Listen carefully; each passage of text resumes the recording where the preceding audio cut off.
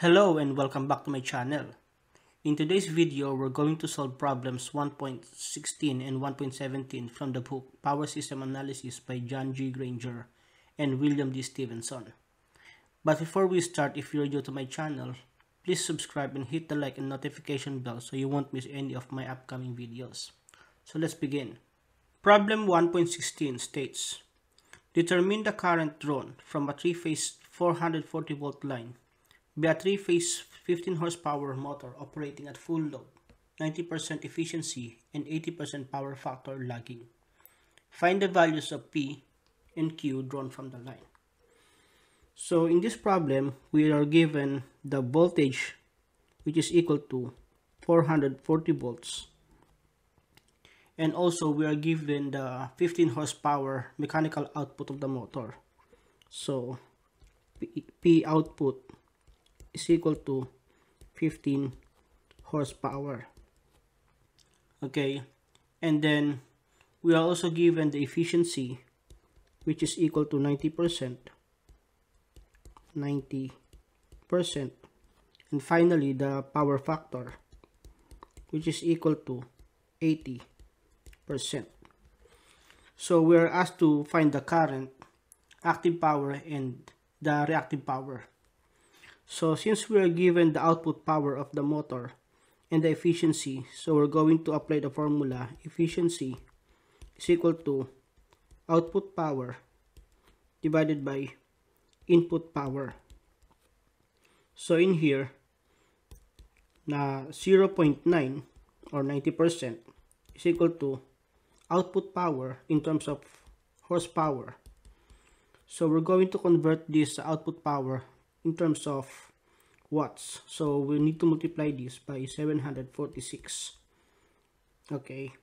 And then we divide this by the input power which is equal to square root of 3 times the line voltage times the line current times the power factor power factor okay so this will be equal to 0 0.9 equals 15 times 746 divided by square root of 3 times 440 volts times the current which is the one that we're going to calculate and then the power factor of 0 0.8 okay so rearranging this equation to give us the line current so line current will be equal to 15 times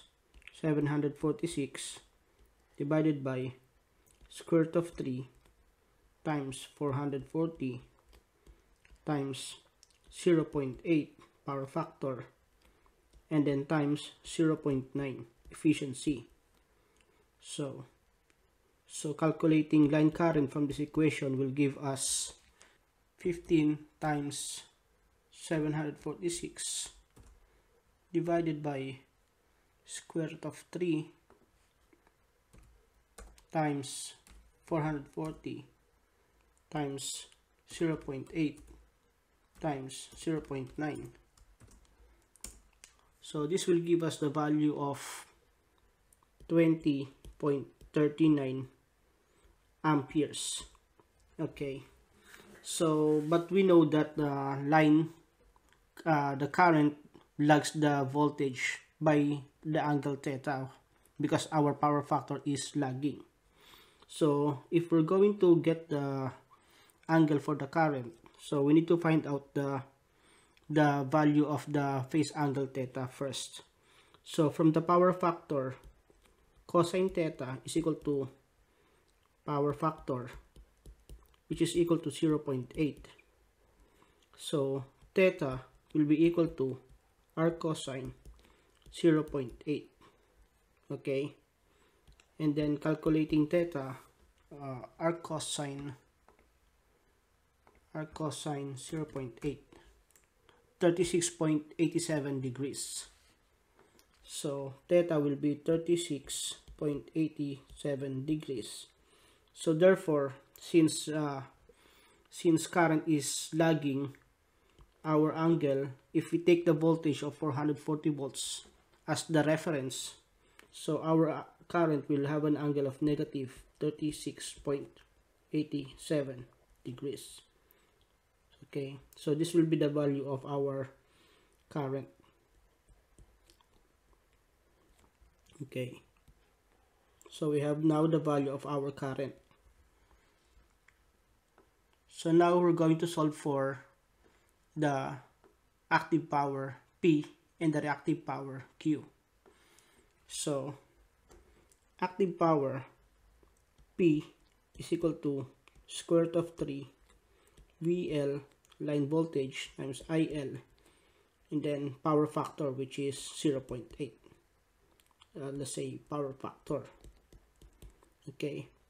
So substituting the values square root of 3 times 440 volts times current is 20.39 amperes times power factor of 0.8 okay so calculating P will give us square root of 3 square root of 3 times 440 times 20.39 times 0.8 will give us 12,431.41 watts. Okay. 12,431.41 watts. Okay. So that will be the value of our active power P. And then for our reactive power Q the formula will be Q is equal to square root of 3 line voltage times line current times sine theta. Okay? So substituting the values square root of 3 times 440 times 20.39 times sine 36.87 degrees. So Q will be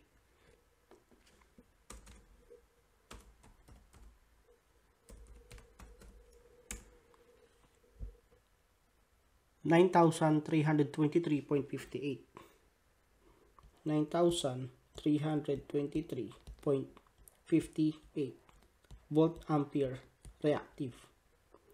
Okay so that will be the value of our Q. So now we have already calculated the values of line current active power and reactive power.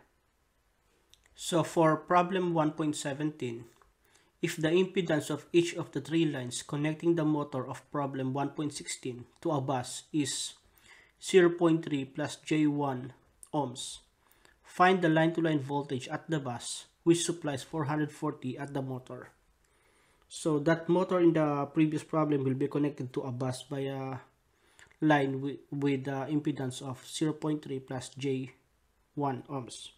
So if this is the bus and then this is the line, so the motor will be connected. This is the motor. Okay. So this is the line with 0.3 plus J1 ohms impedance. The voltage here at the bus or the source is unknown. And then the voltage here at the motor terminals is 440 volts. Okay, so we're going to calculate for the voltage at the source at the source or the bus. So we take the impedance first, which is Z is equal to 0.3 plus J 1 ohms. So let's convert that to polar form so that when we need to use the polar form in the calculation, we already have the value. So let's convert 0.3 and 1 so that will be 1.04 cis 73.3 degrees so 1.04 cis 73.3 degrees ohms. Okay. And then from the previous problem we already have the power factor lagging. So theta is equal to 36.87 degrees. And also we have calculated the current to be IL is equal to 20.39 cis negative 36.87 degrees. Okay? So the voltage here at the bus voltage bus is equal to the voltage drop at the line voltage drop plus the voltage at the terminal voltage at the terminal of the motor. So let's say motor. Okay? So using the phase voltage at the terminal as the reference so our voltage drop is will be equal to I times Z plus V phase of motor which is equal to 20.39 cis negative 36.87 degrees. And then our uh, impedance is 1.04 cis 73.3 degrees. Plus the phase the phase voltage of the motor which is equal to 440 divided by square root of 3 and since the voltage at the terminal the phase voltage at the terminal is the reference so we use 0 degrees.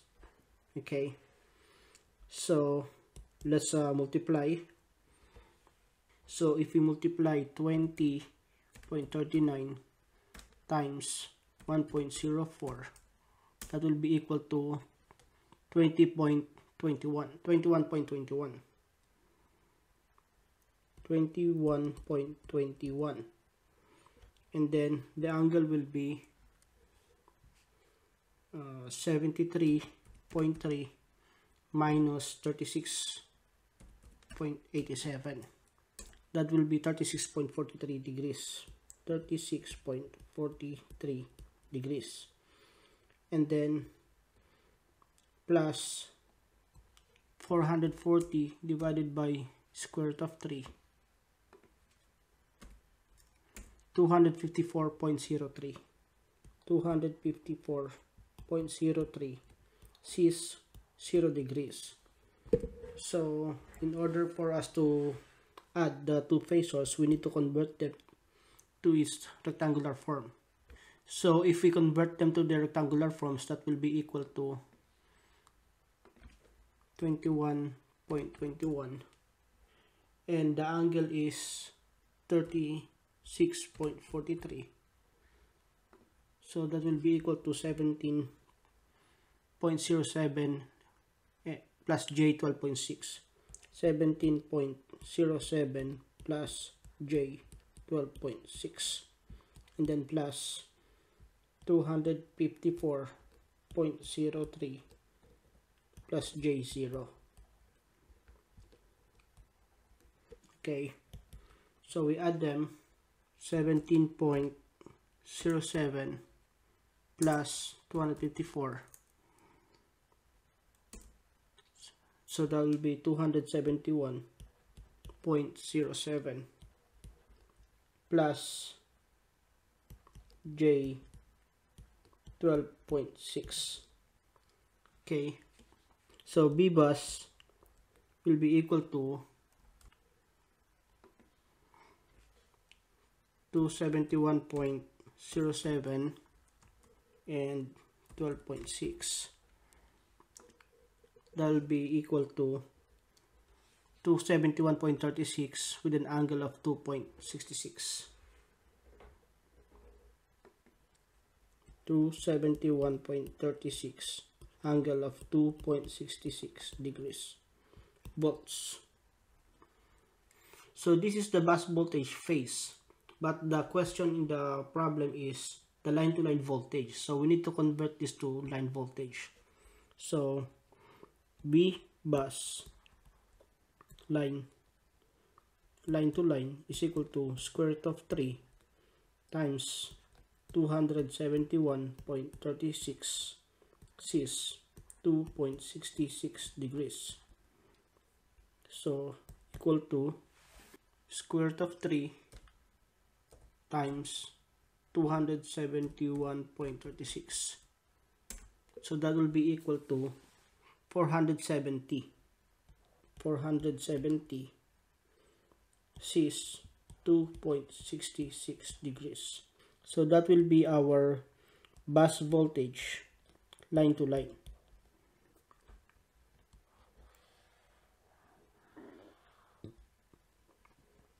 So that's it for our video for today and thank you very much. God bless.